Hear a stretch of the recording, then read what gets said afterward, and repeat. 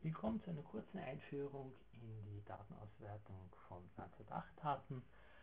Das erste, was ich hier gerade darstelle, ist die Generierung eines klassischen Satellitenbildes.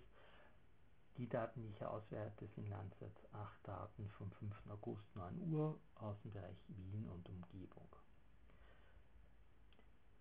Die nächste Möglichkeit, die man, die, die, die man hat, ist äh, Falschfarbbilder anhand der insgesamt elf Frequenzbänder des Landsat-Satelliten darzustellen. Äh, die interessantesten äh, sind davon die Bilder im Bereich Nahinfrarot. Das ist insofern darin begründet, als ich anhand der Reflexion im Bereich nahen Infrarot äh, den Zustand der Vegetation im jeweiligen Bereich analysieren kann. Das, was ich hier recht schön sehe, sehe, ist, dass ich hier im Bereich Wienerwald, aber auch im Bereich zum Beispiel Donauauen oder in den Wäldern rund um Wolkersdorf eine recht hohe Pflanzen- bzw. Chlorophyllaktivität hat.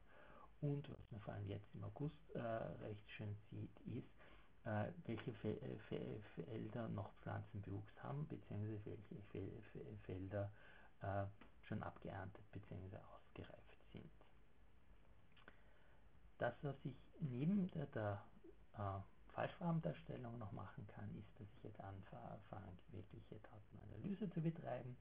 Äh, der erste klassische äh, Analyse ist Vegetationsindexanalyse, wo ich mir jetzt für, für jeden Bereich genau berechne, wie hoch dort die Chlorophyllaktivität ist, und mir daraus ein entsprechendes Falschfarbenbild generieren kann.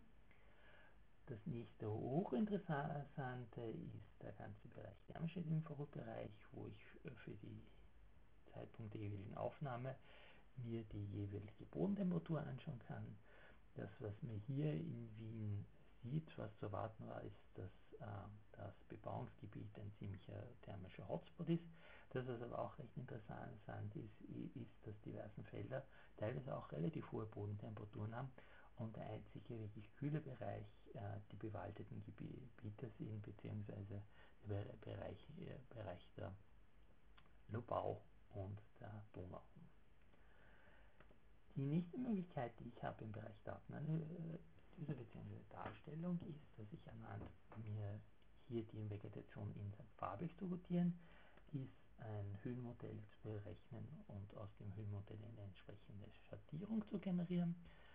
Das ist sehr nett, vor allem wenn man äh, die Schattierung dann mit den anderen äh, äh Bildern äh, kombiniert, weil ich hier jetzt das äh, Temperaturbild von vor, vor, vorher mit der Schattierung zum kombinierten Bild generiere und hier jetzt erkennen kann, wo ich Bereiche habe mit hoher Pflanzenaktivität und hoher Temperatur, beziehungsweise hoher Pflanzen, Pflanzenaktivität und niedere Temperatur, beziehungsweise im Stadtgebiet spannenderweise über die Kombination mit Vegetationsindex äh, klarer erkennen kann, äh, wo die hohe äh, Bebauungsdichte ist, beziehungsweise wo äh, die Gebiete sind mit lockerer Verbauung.